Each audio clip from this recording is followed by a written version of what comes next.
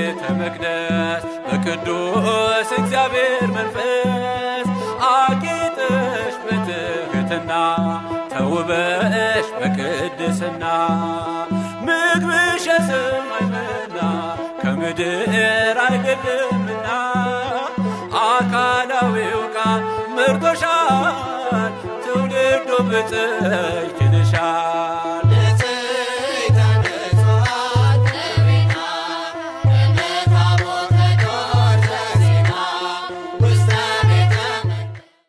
ያለንበት አደባባይ ምዕራፍ 12 ነው። ጌታችን ኢየሱስ ክርስቶስ ሰባት ነገር የተናገረበት ነው። የሚሰሩትን አያውቁምና አባቴ ማራቸው ብሎ የለመነበት። ሁለተኛ እመቤታችንና ዮሐንስን ከዛሬ ጀምሮ ልጅሽ ነው ከዛሬ ጀምሮ እናት ብሎ ከዚህ ቃል ኪዳን የሰጣቸው ነው። ጌታችን ኢየሱስ ክርስቶስ ግን በቀራንዮ በዚህ ሞታ የሆነበት ሌጊዮስ ደግሞ በጎኑ የወጋው ከዛ ደምና ውሃ የፈሰሰበት ያው ይሄንን ያመለክተናል። ቀራንዮ ማለት ይሄም የሰው ልጅና እግዚአብሔርና ሰው ያስታረቀበት ቦታ ይሄ ቀራንዮ ቦታችን ነው።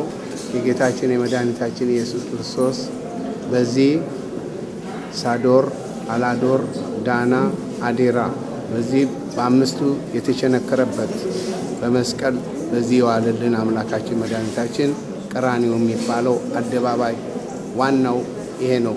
ደህንነት ያገኘንበት ሰውንና እግዚአብሔር የታረቀበት እስከዛ ድረስ እግዚአብሔር ከእሱ ጋር ያስታረቀን ሰባት ነገሮችንም የተናገረበት በዚህ ቦታ ላይ ነው።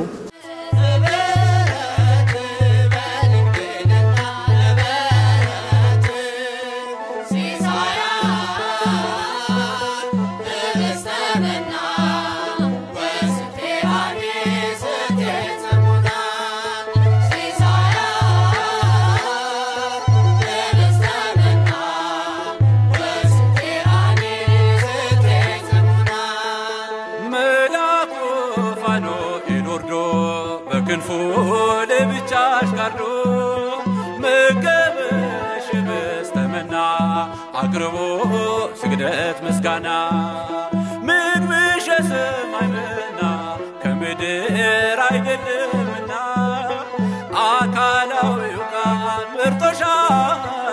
ትውልዱ ብፅዕት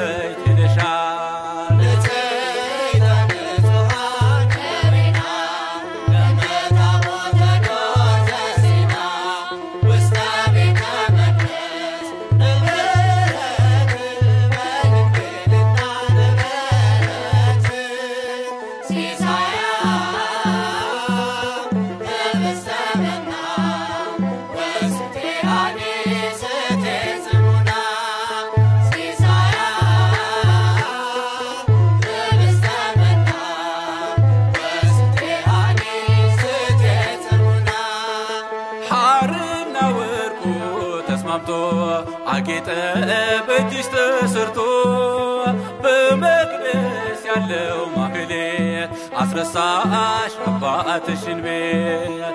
ምግብሽ የሰማይ መና ከምድር አይደለምና